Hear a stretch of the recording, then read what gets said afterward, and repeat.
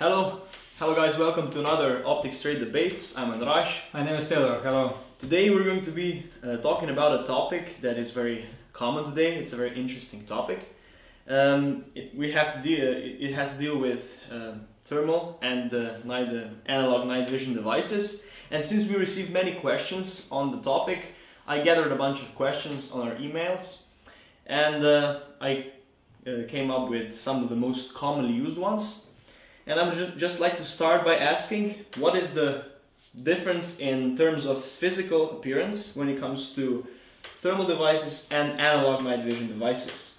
Well, uh, I would say this topic is very common because the pricing, especially if we have devices with a generation 2 plus and the thermals is very close. So people always ask, what should I buy? Either a thermal or a Gen 2 plus uh, night vision device. We also have here some uh, generation 1 analog night vision devices which are a little bit less competitive with uh, compared to, to thermals. They are much cheaper. So somebody who is looking for a for a night vision scope, analog night vision scope for 500 euros, it usually doesn't look at uh, at thermals because they are uh, too expensive. But if you look at the at the generation 2 plus night vision devices and at thermals, they're priced very very similarly. If we look at the physical properties of all of those, we can usually see that, especially with generation uh, 2 plus, uh, those devices are a little bit bigger, and they usually have their housing made out of uh, out of uh, metal, while with thermals, it usually housing is made out of uh, polymers or some other plastic materials. So this is in physical properties. This is the first difference. Then, if we look at the clip-ons, uh, we have two clip-ons here. We have a thermal core, pulsar core, and then we have a um, uh, the Janke night vision clip-on, the analog uh, generation 2 plus. And if we look at both of them, you see that uh, the um, thermal is quite smaller. Yeah, so And the second thing what it is, the, the digital, uh, not digital, the analog night vision devices, they always need a, a infrared illuminator, while thermals, they don't need any illuminator, so they, they don't emit any light towards the, um, the objects which we are observing. That's, that's the main difference. So smaller, lighter, usually made out of polymer, without any additional infrared illuminator, while the the analog Gen 2 pluses devices, which can be compared on uh, um, based the comparison can be made based on price, while in physical appearance uh, they are made out of metal, they're heavier, they're bigger, and they usually feature an external infrared illuminator. if we talk in numbers when uh, uh, we're on the topic of price, uh, as regards the Gen 1 in analog night vision, where does the where do the prices The pricing starts at around 200 euros, so and then very, it goes very affordable? very affordable. And goes up to 600 700 800 it's it's the top. It depends either if we are looking at the uh, night vision scope or binoculars or a rifle scope or a, or a clip-on. While the clip-ons are never gen 2 uh, gen 1 they're always gen 2 so the monoculars the binoculars and uh, the rifle scopes uh, of uh, generation 1 they're usually from 200 to 800 euros in this in this range. While with thermals, everything start, starts at around 1000 euros, most of the thermal devices, and then it goes up all the way to 5600, 6000, 5000, 6000. This is the most Mm. common. While the professional devices usually cost much more. You can talk even about 20 and 30. With analog night vision, we can also get up to. Well, yeah, with, with the Gen, Gen 2, it usually starts at around 3000 euros and goes all the way up to 8000 euros. So the best Gen 2 devices, Gen 2 Plus, are more expensive than usually the thermals. Uh, and they work really differently. So even if the, I would say that the physical appearance differences are the smallest. The biggest difference is how each of those two devices work. That's that's the main difference. Now we get to the fun part. So the Mm. differences in optical characteristics. Well, this is digital. So even though it's thermal, you have a sensor in front, behind the objective lens. Then you ha- we have all the electronics in the body, and then the display at the rear, and that means that we always look into the display. Either in these binoculars, we look into the display, or with this clip-on, you will look through the scope into the display. And the limiting factor of this setup is normally the, the resolution of the sensor and the resolution of the display. And this is something where the analog night vision devices of uh, generation 2 plus or generation 3 even have their advantage because they have a much higher resolution. So you're able to see the details better than with, with thermals, at least in this moment.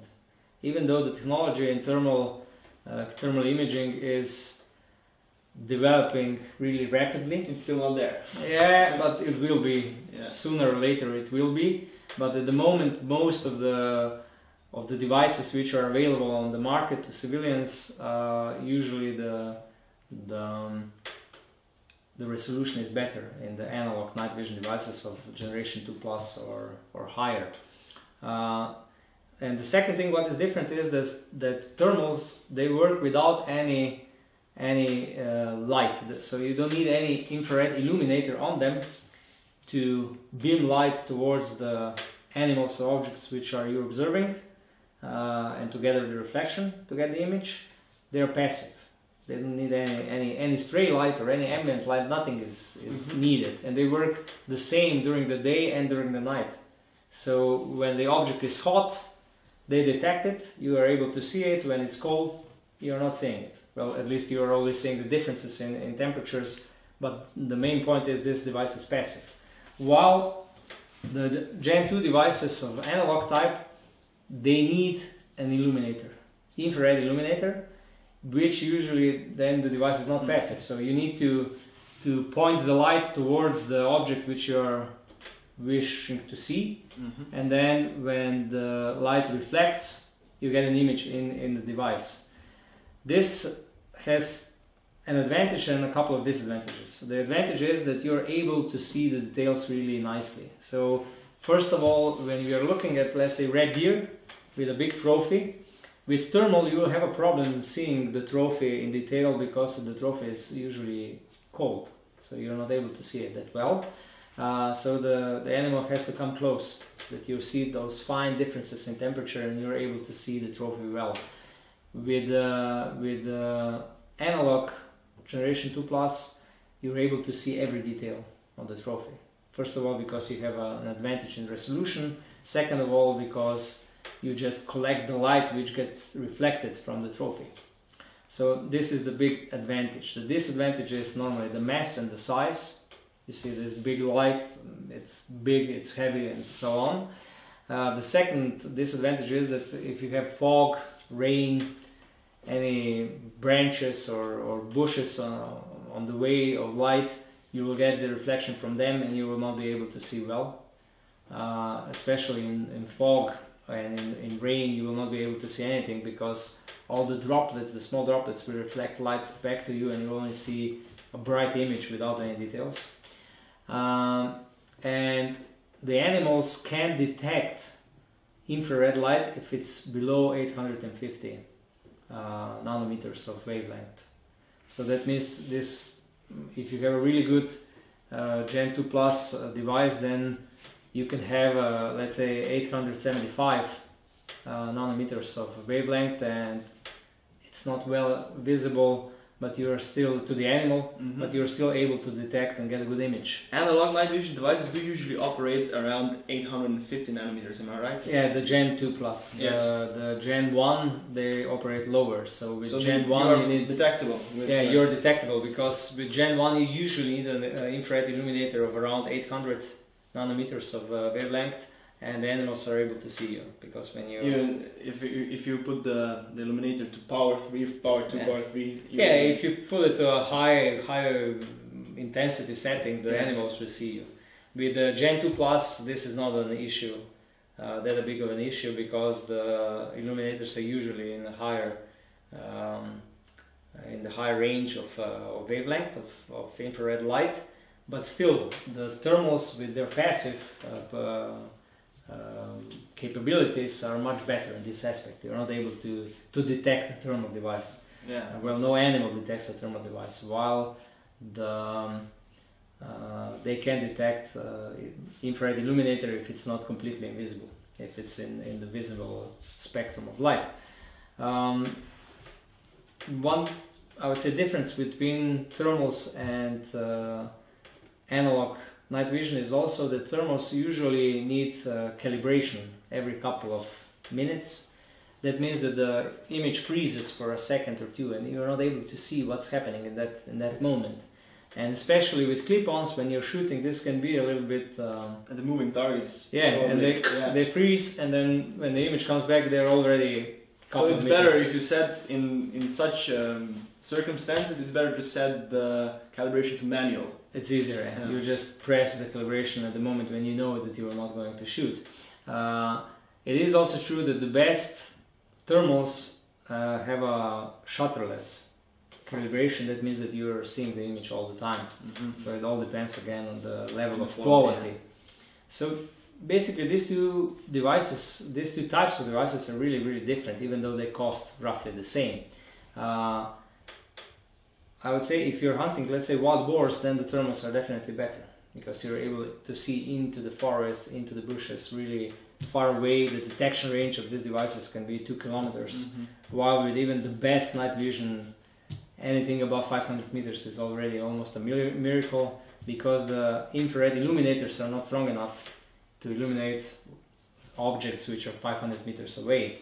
Um, so basically, you get a better range with them, while you see you get a better resolution and better rendering of details with the, with the analog still today.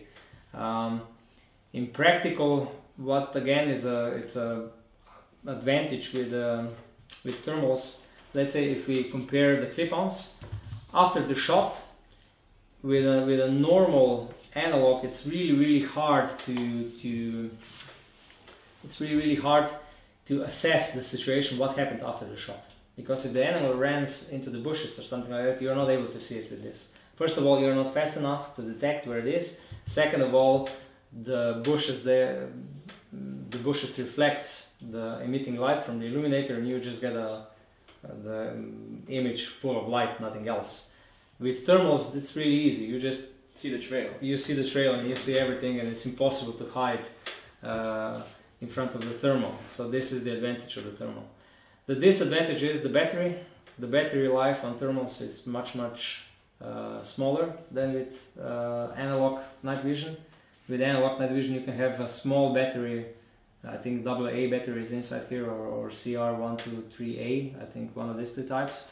And you can have it for years with thermals always pack an additional batteries no matter where you go because thermals they do eat battery much faster than the analog night vision devices uh, then another disadvantage of, uh, of analog devices is that they're uh, the photocathode which is inside uh, the tube which um, amplifies light it has a limited lifespan Yeah. that means that with with hours of, uh, of operation, uh, its life uh, just gets shortened and shortened and shortened.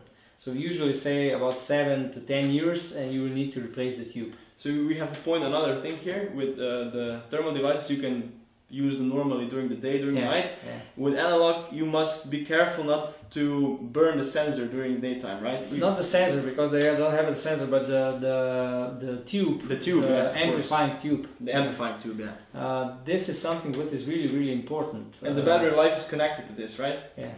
Uh, Well, the not the battery life, but the life of the tube. The life of the tube, yeah. If you're using Naturally. it during the during the daytime, during the strong light, you will burn it. It will it will just die much faster.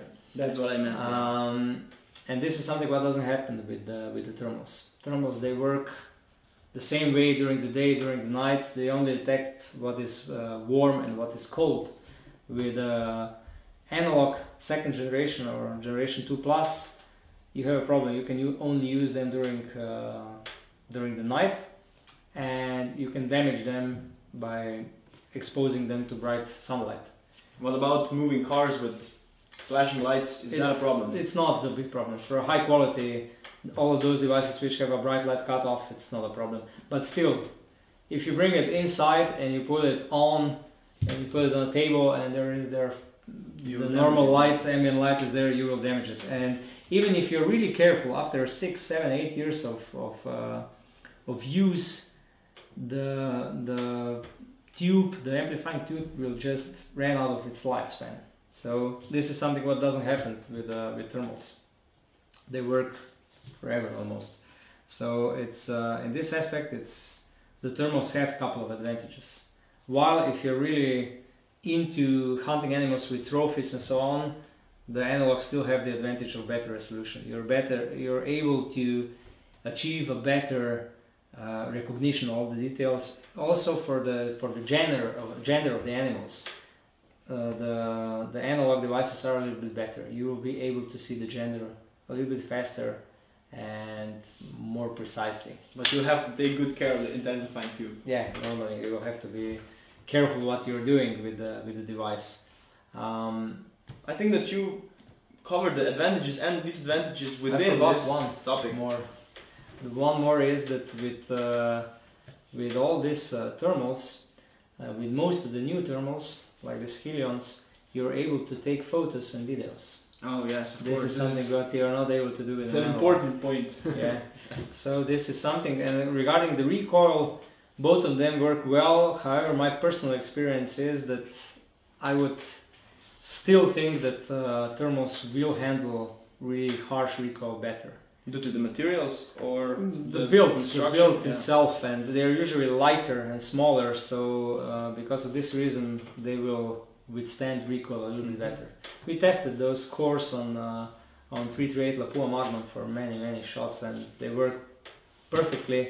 And okay, this Yanka also Yeah, was of tested a lot in 338 and also works, but still, it's don't take it as a as a fact. Don't take it as a something 100% uh, correct and so on. But my my gut feeling tells me that I think the thermals will work better on a on a really hard kicking rifle for a longer time than than the analog um, devices because just because they are smaller and lighter so less mass less problems with recoil Is there anything else that we Mm. should cover? i think we covered most of the things if you forgot anything i think the, our viewers can still use comments Of course. below And they can also send us an email if uh, you have any questions. If you like the video, hit like of course, and uh, don't forget to subscribe to our YouTube channel. Thank you guys. thank you bye bye. bye.